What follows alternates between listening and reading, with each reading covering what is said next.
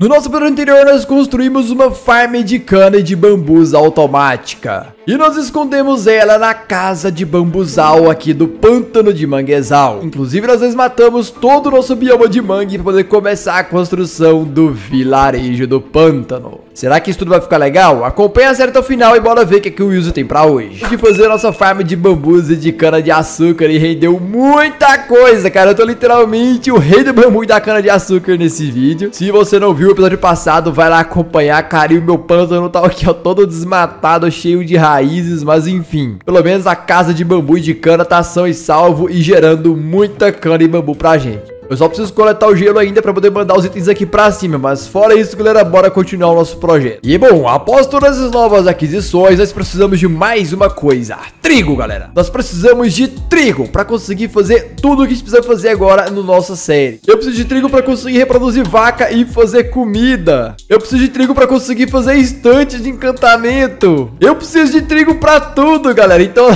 vamos ter que bolar hoje uma farm automática de trigo, mas não só de trigo, também também de cenoura, batata, beterraba, de todos os tipos de leguminosas e raízes que temos como fazer aqui no jogo. E o esquema é o seguinte, meus coleguinhas. Eu queria decorar essa minha farm de trigo com uma mega plantação gigante. Não tem como fazer isso aqui no meu de manguezal, até porque nem espaço a gente tem. Então imagino que o melhor local para gente conseguir fazer isso é essa área de planície aqui atrás. Então nosso foco é basicamente fazer a maior plantação de todas, cobrindo todo esse bioma que tá aqui atrás. Rapaziada, eu vou literalmente fazer a maior plantação do Minecraft Survival, cobrindo tudo isso que estão vendo aqui com plantação gigante. Mas isso aí vai ser apenas uma decoração estética, porque na verdade hoje nós vamos fazer a nossa farm automática de tudo, tá? Pega, olha tudo que aquele sapo pulou ali atrás, velho. Só que a parada, galera, é a seguinte, tá? Vamos definir aqui mais ou menos um centro pra gente fazer essa farm. E uma coisa interessante que eu vou fazer aqui, que eu acho que vocês não sabem, é que normalmente eu pego as minhas farms e eu escondo... Vou definir o centro aqui primeiro. Tá, pode ser aqui. Não, aqui ficou muito próximo dali vou pegar mais ou menos aqui. Uma coisa que eu faço muito aqui nas minhas farms é esconder elas e depois fazer uma decoraçãozinha para deixar ela bonitinha em volta, né?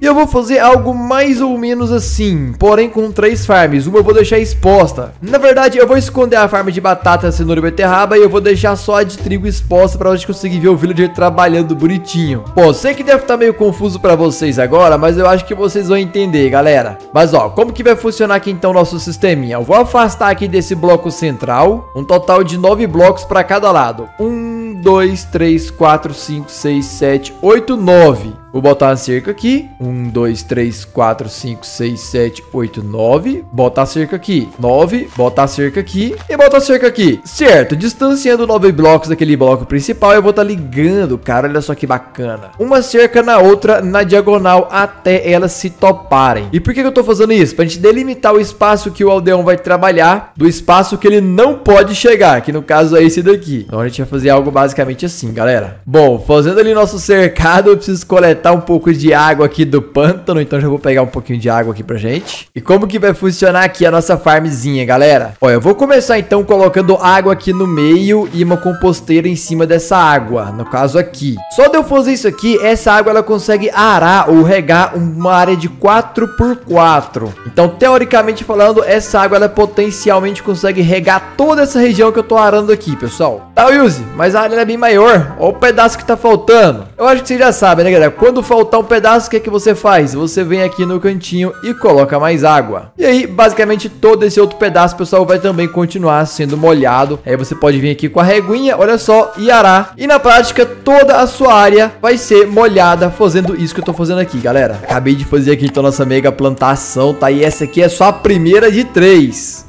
Só que a primeira, eu quero que o villager fique andando e trabalhando aqui, mesmo estando exposto. Eu quero que você veja o villager trabalhando. Eu quero ver o villagerzinho andando aqui, coletando tudo bonitinho. Já as outras duas eu vou fazer escondida aqui debaixo da terra. Então eu vou cavar aqui, pessoal, três blocos para baixo a partir desse canto, ó. Um, dois, três. Pra ficar fácil subir por ela, eu vou colocar uma escadinha aqui. Depois eu vou ter que tirar ela. E eu vou cavar agora dois bloquinhos pra frente. E eu vou ter que fazer a mesma coisa que eu fiz aqui em cima, galera. Só que eu vou ter que fazer aqui embaixo, tá? Inclusive, eu acho que eu vou encontrar aquela água que eu coloquei. E pra não cair aqui e acabar atrapalhando a gente, eu vou colocar um alçapãozinho aqui, ó. Aí a água, ela não escorre e não fica fazendo lambança. Bora então cavar agora nove blocos pra cá a partir dessa água, né? Um, dois, três, quatro, cinco, seis, 7, 8, 9. Vamos ter que fazer a mesma coisa agora, pessoal, nesse nesse andar, cavar depois mais três blocos pra baixo de novo e abrir mais uma sala. E a gente vai ter três salas, só que no caso a gente precisa de quatro. Eu vou ter que quebrar mais dois blocos pra baixo de novo e abrir mais outra sala. E por fim, essa aqui vai ser a nossa última sala. Cara, são quatro salas pra conseguir fazer essa farm, né? Uma, duas, três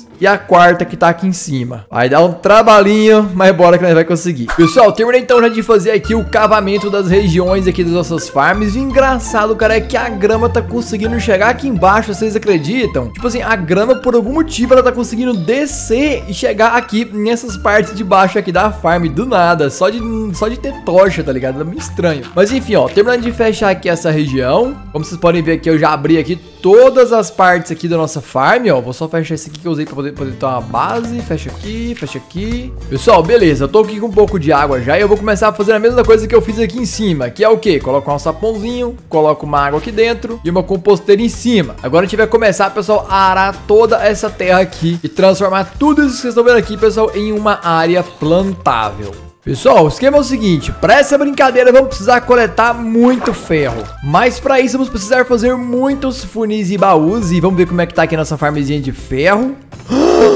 Galera do céu, olha isso, o nosso primeiro...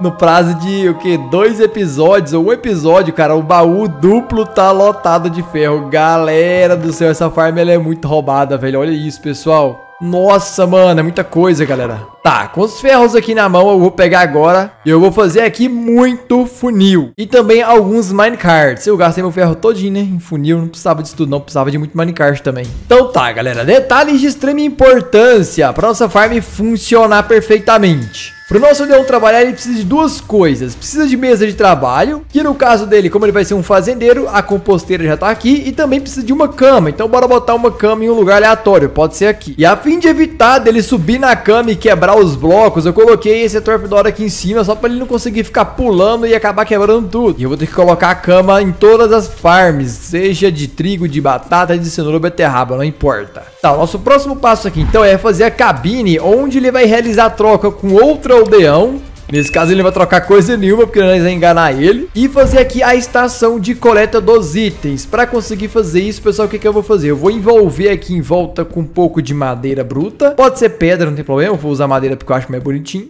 Eu vou ter que tirar essa escada daqui e vou ter que montar ela em outro local para eu conseguir acessar essas fazendas. Acho que eu vou montar uma sala secreta para ter acesso com essas escadas aqui nesse campo. E eu vou trancar aqui com uma porta para os villagers não conseguir fugir daqui, galera. Então tá, essa aqui é a nossa passagem secreta para as fazendas automáticas, eu vou fazer agora o seguinte esquema. Eu vou juntar aqui, pessoal, alguns minecards com funil, porque eu vou precisar fazer muito funil no carrinho. E qual que é o segredo para essa farm funcionar? Eu vou colocar depois um aldeão aqui dentro, parado aqui nesse bloco. E vai ter um villager farmando itens aqui nesse lugar. O aldeão que vai estar tá farmando e plantando muitas coisas aqui, vai pegar o item e vai tentar dar para aquele villager. Ele vai vir aqui e vai jogar o item naquele aldeão. E eu não posso deixar esse trigo essa cenoura, batata chegar nesse aldeão, porque se chegar a farm não funciona. Eu vou ter que aproveitar esse momento exato e sequestrar o item daquele villager. E a melhor forma que nós temos de fazer isso, pessoal, é colocar um carrinho com funil. Então, na prática, o que, que eu vou fazer, galera? Eu vou literalmente colocar um funil apontado para baixo, aqui dessa forma, em todos os tetos aqui das plantações. Então, vou colocar um funil aqui, um funil aqui e um funil aqui no chão. Só que só um funil ainda não é o suficiente. Eu preciso colocar pessoal, o carrinho com um minecart e um funil também. Então o que, que eu vou ter que fazer? Vou ter que colocar, por exemplo, uma terra,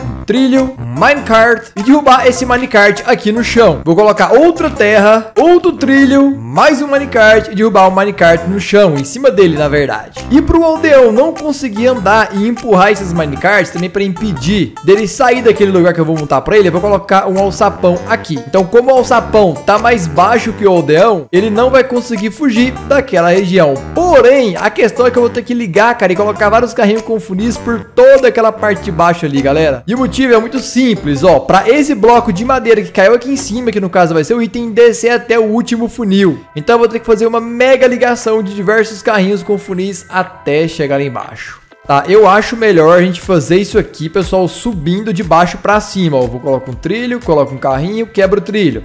Aí eu pego o trilho de volta, aí eu vou subindo aqui. Vou ter que, infelizmente, remover esse funil por hora. Vou colocar um bloco, um trilho, um carrinho com funil. Vou ter que quebrar o bloco, colocar o alçapão pro villager não fugir e colocar o funil. Então vou ter que fazer esses elevadorzinhos de blocos aqui, pessoal, até chegar lá em cima. Aí, galerinha, acabei de fazer aqui então já a última camada aqui dos carrinhos. E pra vocês verem o tanto que esse sistema é interessante, eu vou jogar três cenouras, ó. Uma, duas, três, quatro, cinco. Vou fingir que eu dar jogando uma cenoura pro outro. Agora eu vou descer aqui até a última camada, pessoal. E como vocês conseguem ver, temos aqui os dois carrinhos que eu coloquei também na última camada. Os itens em parar, olha só, do funil, desce nesse funil aqui vem parar no baú. As cinco cenouras que eu joguei tá aqui nesse baú. Então não importa, se eu der um vir aqui jogar um milhão de cenoura, todas elas vão entrar nesse funil e vai descer de funil em funil aqui, ó. Tem um funil, funil, dois carrinhos, um funil, dois carrinhos, dois funil, enfim. Tudo vem parar nesse baú. Agora chegou a parte mais enjoadinha de todas, galera, que é colocar todos os aldeões aqui dentro. Então, pra gente conseguir realizar essa façanha, pessoal, com perfeição, o que é que eu vou fazer? Eu vou quebrar essa bancada aqui, ó, esse barril que eu tenho aqui, porque senão algum villager vai pegar essa profissão. Aliás, eu posso deixar ele pegar essa profissão, contanto que o outro não pegue, tá bom. Tá, aqui, ó, vou colocar um barquinho aqui do lado, vou liberar os aldeões pra cá. E agora o meu objetivo, pessoal, é pegar e levar esses aldeões através de uma enganação. Eu vou botar uma composteira aqui no chão, se bem que aqui lá vai pegar aquela profissão. Tá, pega, quebra aqui, coloca aqui de novo a composteira. Ó, eu vou estar tá atraindo os aldeões, pessoal, levar eles lá pra nossa farm, tá? Eu coloco a composteira, ele vai seguindo, aí na hora que ele chegar perto, eu quebro e eu vou levando ele até chegar lá. Demora um pouquinho, rapaziada, mas uma hora ele chega, tá? É a mesma coisa que eu fiz na farm de ferro. Você vai atraindo ele até chegar lá no ponto de armadilha. Rapaz, tu vai ser usado como escravo. Tu tem certeza que tu quer vir pra cá, velho? Se eu fosse, eu não via, não. Eu já ficava logo por aí mesmo, mas enfim, se você quer vir, pode vir, rapaz. Pode vir que tem emprego pra você, viu? aqui, galera, já trouxe o aldeão pra cá. Vou liberar aqui, então, uma entradinha pra ele conseguir entrar e trabalhar. Meu querido, pode vir. Pega lá uma bancada de trabalho pra você e vai trabalhar, colega. Aí, ó, galera, pronto. Ele pegou já a bancada de trabalho dele e ele vai começar agora a trabalhar. Porém, ele não tem nada pra trabalhar. Deixa eu pegar uma sementinha pra ele e um trigo pra dar pra ele, galera. Ah, eu tenho aqui um pouco de semente de trigo que eu peguei. E nesse momento eu vou ter que fazer a seguinte coisa, pessoal. Vou ter que plantar aqui esse trigo, tá? E depois que o trigo crescer, ele vai coletar e vai continuar replantando aqui no sistema. Agora, um problema que eu tô vendo aqui é que o bichinho tá tentando pular na cama e tá quebrando a plantação. Rapaz, não faça isso. Tu tá destruindo aqui a plantação que você... Não faça isso, cara. Tu tá destruindo aí. Você não tá vendo, não? Você é complicado, hein, velho? Vou dar um jeito no si. Pessoal, tô trazendo agora mais um villager pra poder complementar a nossa farm aqui, ó. Eu vou jogar ele agora dentro daquele casulo que vocês viram, né? Só que pra isso eu vou ter que atrair ele aqui pra cima. Vem, vem, vem. Sobe aí. Agora eu vou ter que empurrar ele aqui dentro, galera. Vai, vai, vai cair no buraquinho aí. Não, vai, vai por aqui, ó. Por aqui. Isso, meu garoto. Vem, vem, vem. Isso aí, sobe ali por cima. Vai, foi. Na que ele pegar o emprego, eu jogo ele no buraco aqui, galera. Joguei. Nossa, ele caiu, foi ali embaixo. Credo, mas tem nada não. Pode, pode ficar por lá mesmo. Tá, eu vou descer aqui agora, pessoal, e vou fechar um piso lá pra gente continuar colocando os próximos aldeões. Então agora é o seguinte, ó, onde tá a cabeça do aldeão aqui, eu vou pegar e eu vou colocar um bloco pra tampar. E agora eu posso pegar e jogar outros aldeões aqui dentro. Pronto, pessoal, terminei então já de montar a nossa farma de trigo. E como vocês conseguem ver, o nosso aldeão Josivaldo tá trabalhando, galera. Josivaldo tá lá, andando de um lado pro outro, coletando e replantando trigo. Enquanto o Jobs Clave tá aqui, esperando pra receber o trigo na boca só que o funil vai roubar ele. Então tá, galera, olha só como é que ficou aqui então nossa farm de trigo, tá? O Village tá andando e entregando aqui a comidinha pro seu coleguinha que tá preso ali na jaula. E como vocês viram, a farm tá funcionando perfeitamente. Não só essa farm também, mas a farm de cenoura também, galera, que tá aqui embaixo, ó. Aí, ó, temos aqui um aldeão que é o Juribaldo, responsável por plantar e coletar toda a cenoura, galera. Então ele coleta a cenoura, ele vem entregar aqui pro birimbau, e aí ele joga os itens, só que o funil acaba catando e roubando os itens do birimbau. Esse lascou, trouxão. No momento, pessoal, essas aqui são as nossas farms que estão funcionando, tá? De cenoura e a de trigo, porque a de batata e de beterraba eu não tenho ainda. Então, ó, eu vou descer aqui embaixo no segundo andar. Eu já até coloquei os leões para deixar eles aqui de reserva, né? Por enquanto eles estão andando aqui, enquanto a gente não arruma batata e beterraba. Mas olha que bacana, se eu vier aqui no baú, pimba, tem um monte já de trigo, cenoura e sendo produzido aqui na nossa farm, galera. Agora eu posso literalmente pegar todo esse trigo, mano. Agora que eu tenho muito trigo. Eu vou, galera, literalmente realizar o meu sonho de fazer a mega plantação de vacas gigante. Porque plantação de vaca não, né? Que você não planta vaca. Eu vou fazer a minha mega fazenda de reprodução de vaca, que eu tô precisando de muito couro e muita carne, galera. Mas eu quero saber de vocês uma coisa. Vocês querem que eu faça a farm de vaca logo no próximo episódio? Ou que eu faça a construção da nossa mega fazenda gigante que vai decorar essa farmzinha aqui? Tá com vocês, hein, galera? Deixa o like, se no canal, beijo de coração e tchau!